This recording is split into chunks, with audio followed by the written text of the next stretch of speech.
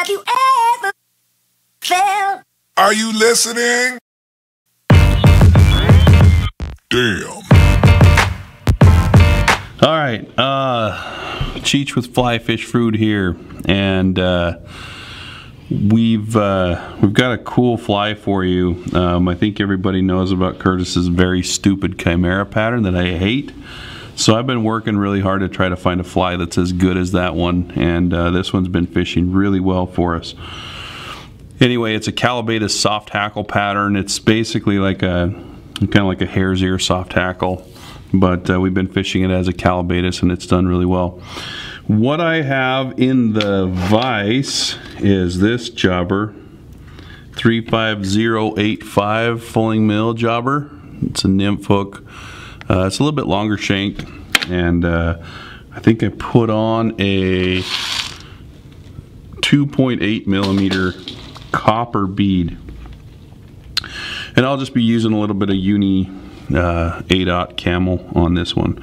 So I'm going to start in front of the bead and uh, kind of create enough space to, to wrap a soft hackle there. And then I'm going to push the bead up and just go wrap my thread over the top of the bead.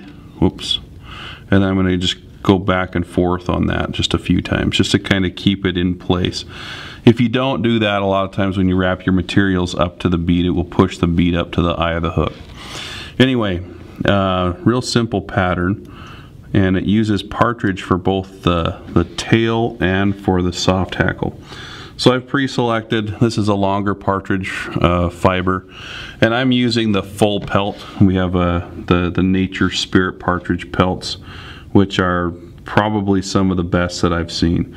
And uh, so that's really the best way to get, you know, good quality usable feathers, especially if you're going to be winding soft hackles. So I'm just going to grab, you know, a few fibers, about that many, and pull them off the stem of the hook, or off the stem of the, the feather. And I'll tie those in maybe a little bit shorter than the shank of this hook. About like that. And I'll wrap those all forward. And uh, the next thing is just to add ribbing. I'm just going to use some copper um, UTC small wire. Curtis's greasy fingers have wiped all the lettering off of this, but it is small.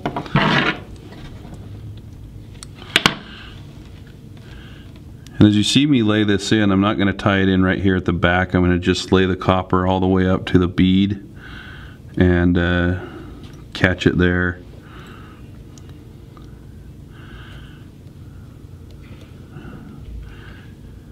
And then the body on this, I've, I found that just this Nature Spirit Snowshoe Rabbit Foot dubbing um, is really, really good. And I just like the natural color.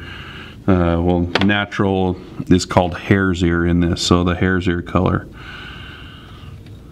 So just dub some on. The idea is you're going to make just a tapered abdomen on this bad boy and you want it to be kind of buggy.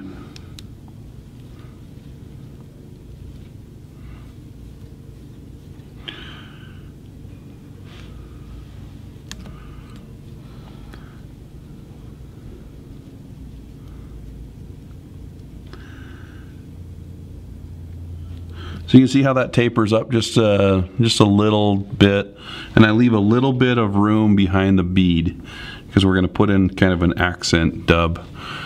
So I'll just uh, wrap my copper wire. You don't need to counter wrap this because you're not trapping down fibers like a pheasant tail. I guess you could counter wrap it if you wanted. And I'll just helicopter that off. Jeez, there's a lot of helicoptering. Okay, now I'm going to use just brown ice dub brown, I guess it's brown UV, but this is it. You can see that, it, you know, the, the focus is a little crazy on this, but it's got little purplish speckle speckle going on in there.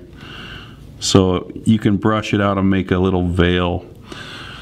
So I just put on enough to, to fill the gap right here. That's a little bit too much, so I'm going to take some off.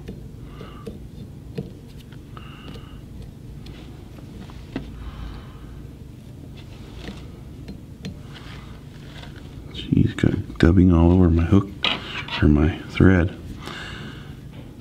And I'm just going to take the, the Stonfo tool and brush that out just a little bit. So that's going to just pull that little tiny bit of flash over the fly.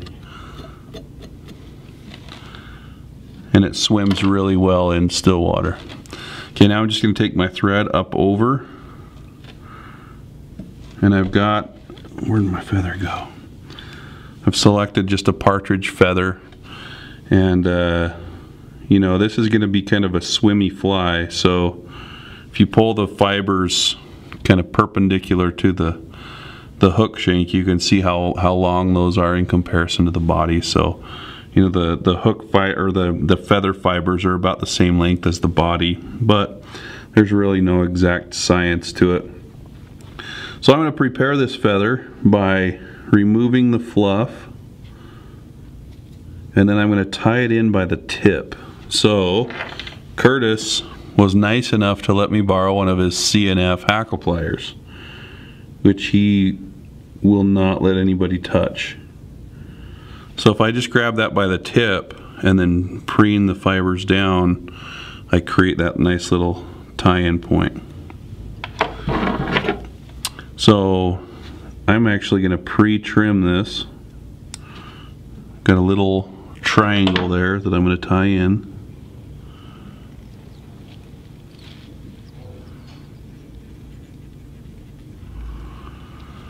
So I've got my feather tied in.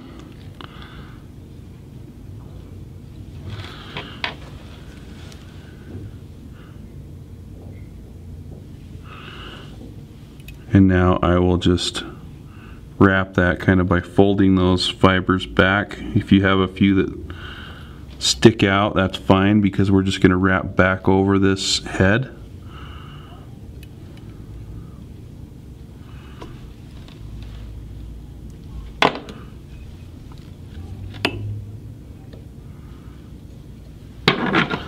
Try to break it, but it won't work. Sorry about going all fingers there. So, not the cleanest partridge job right now, but that's fine.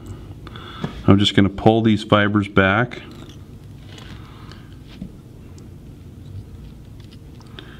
And create a nice little neat head.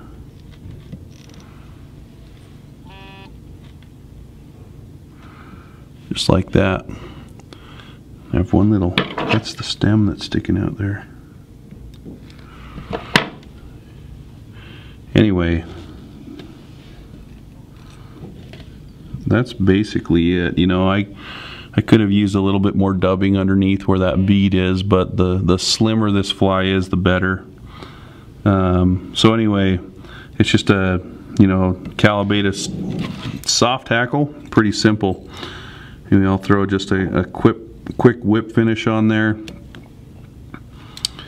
and uh, forgot to bring the head cement to the shop but you'll want to put some of that on there too. But anyway that's the fly. Um, it was so good this summer and I don't want to hype it up too much but I ended up just fishing two of them at the same time. But that's it. The Callibaetis soft hackle